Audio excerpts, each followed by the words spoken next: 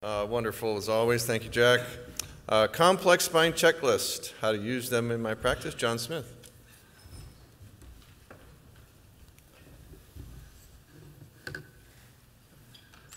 Uh, thank you. Th- these are my disclosures, and the one thing I want to point out is that I have no financial relationships with Three Greens, and I'm going to be talking about Three Greens, just so you know. So checklists. Checklists really started with the aviation industry, and particularly in 1935, where uh, Boeing was competing to build the ultimate airplane, the Flying Fortress, or the Model 299 also known as the B-17. This was a magnificent airplane, four engines, powerful, could go faster, higher, longer than anything else. And then the first flight that happened with a very experienced pilot took off down the runway with lots of people watching, went to about 300 feet, and then augered in. A lot of people died. And uh, when they uh, looked at why this accident happened, um, it turned out it was completely pilot error. And the pilot error was that he failed to uh, release a locking me mechanism on the elevator for the airplane and the rudder control. So once he got up in the air, he couldn't steer it and it crashed. And then the conclusion was this was just too much airplane for one man to fly. And this is the Model 299 or the B 17, incredible plane. Well, so the pilots decided, well, you know, what are we going to do about this? And their solution was they made a very simple checklist, which was not in the aviation industry at the time, where it was simple, it was brief, it was to the point. You touch this, you unlock that, you turn this knob, and uh, and they made this checklist address each phase of flight. And in the end, uh, this airplane became very flyable and flew millions of miles accident free once they had implemented this checklist system. So we work in a very complex environment, and we deal with kids that are, are, are, complicated and have lots of issues and other things. So, you know, the problem that we face is the fallibility of human memory and attention. You know, to stay focused on all the kids that we see uh, and, and to remember every detail in an otherwise busy life is hard. And you can lull yourself sort of uh, into skipping steps.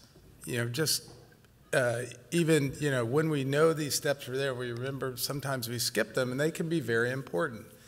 And you know, having the attitude of this has never been a problem before until it is, like you're landing and you forget to put your landing gear down. Yeah, it's never uh, bad until it is. So surgical checklists in 2019. We all use them. In your OR, you have things on your walls now and, and uh, things that you put up that, that uh, ask you to do things like timeouts and whatever. And um, what we find in the system is that some surgeons really follow these, some use them more than others. And, uh, but the reality is, if you skip certain steps, there can be significant uh, um, consequences in terms of safety. So the next question is, can we take checklists to the next level and improve safety in spine surgery? Well, if you've ever asked a pilot, if you're operating on his daughter for scoliosis, and you tell him that you don't use checklists in the OR, he'd think you're nuts because all pilots use checklists, and, uh, uh, and for very good reasons, like we talked about before. So, why use checklists in spine surgery? Well, the first thing is that when you go through a checklist in your OR, uh, whether it's a timeout or whether it's uh, uh, before you make an incision, what you're really doing is you're promoting a culture of safety in the OR where everyone has the opportunity to speak up if they feel that you've neglected something or skipped a step. And it really you know, enables all team members to be part of your team. They're not excluded. And um, people are encouraged to speak up. And it really reduces the complexity because if you just do it routinely and step by step, it's all there. And I think it results in fewer mistakes. As people say, operations are, are routine and patients are not. So my checklist in the operating room started pretty rudimentary with just something taped to the wall that kind of went through steps about positioning and prepping and so forth. And uh, now it's a little more involved. Um, but now I use an electronic checklist, and this is what uh, Lloyd Hey and Three Greens came up with. And I, I have a checklist on an iPad that I then plugged into this TV screen that I bought and put on an IV stand.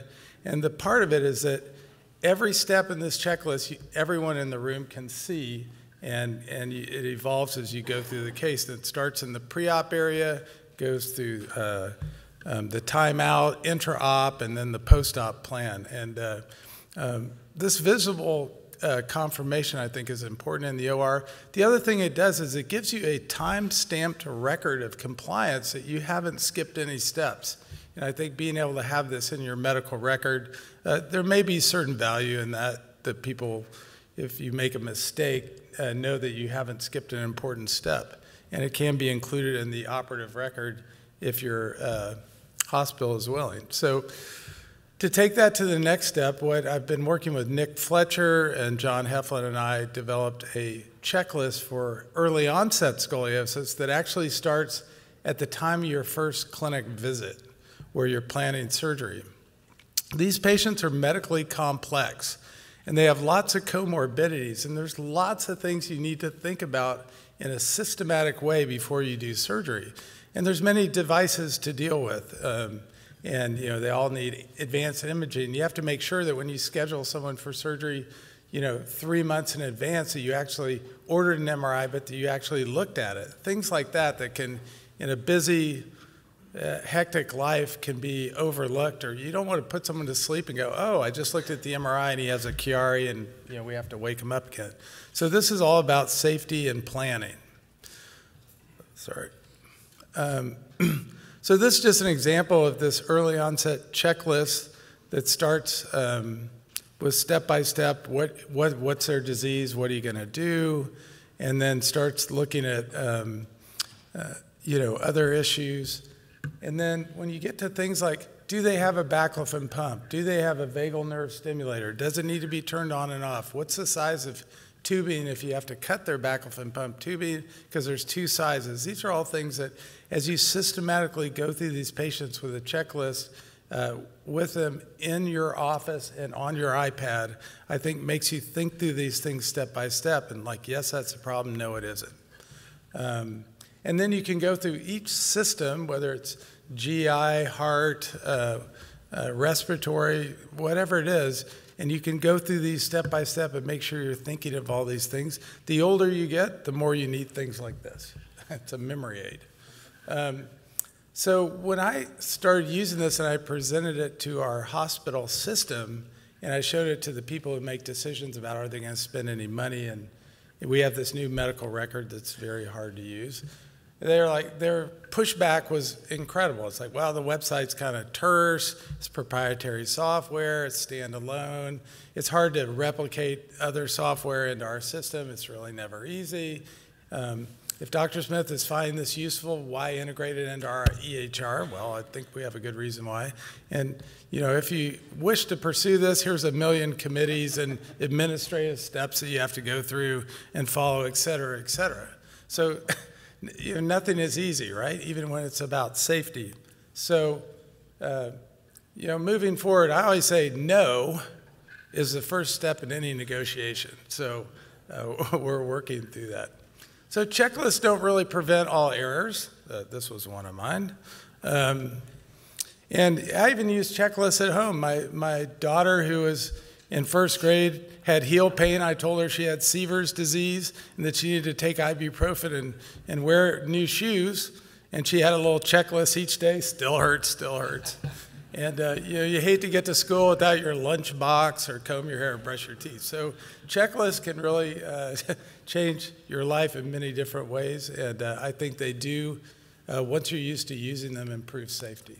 Uh, and checklists engage your team. And this, Jack just talked about spine teams. This is mine, and they're incredible. And we have social hours as well. Thank you.